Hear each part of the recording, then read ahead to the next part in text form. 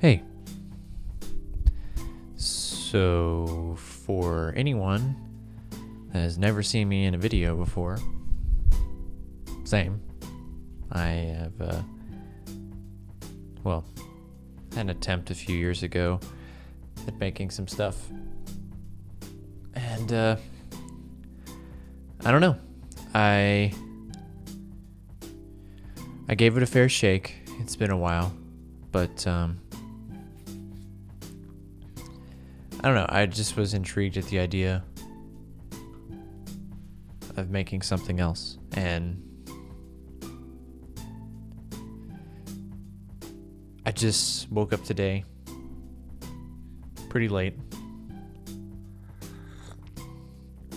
No, I'm just kidding. I woke up at like five o'clock this morning to take my fiance to work, and I couldn't really think about anything else except just wanting to make stuff.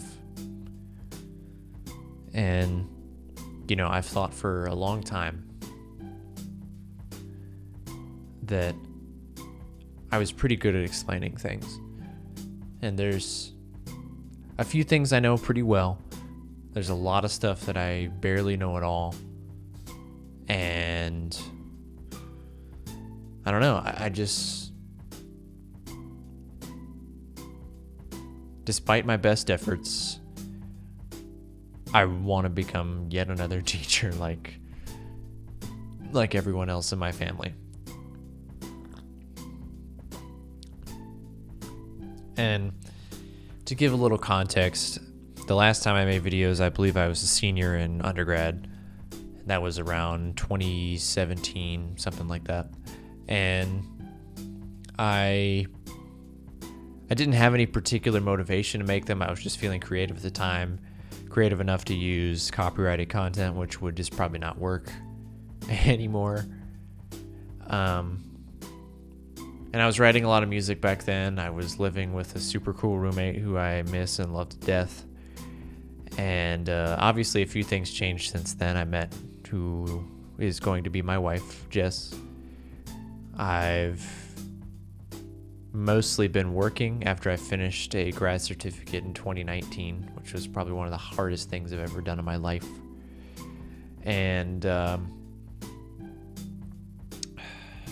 what else do I say? I mean, I've been working service jobs, two to be exact, and I'm just tired, you know? I'm.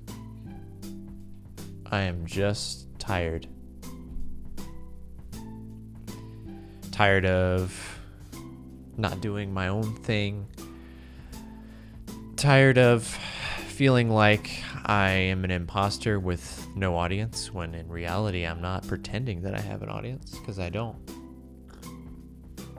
Thanks, Jess, for this grandma cup, by the way.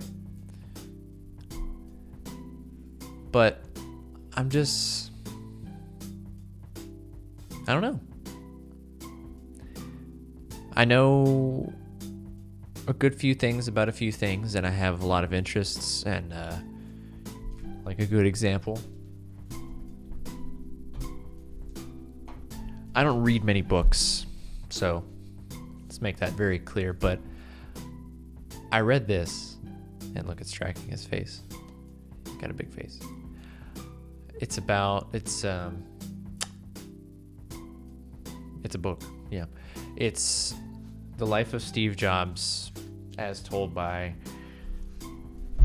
him, his family, his friends, and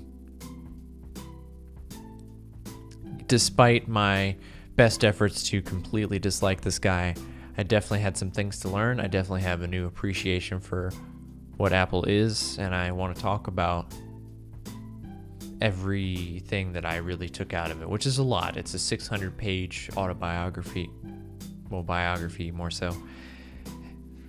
But also, I mean, I've played drums for 10 years now. I played guitar, or at least tried to for uh,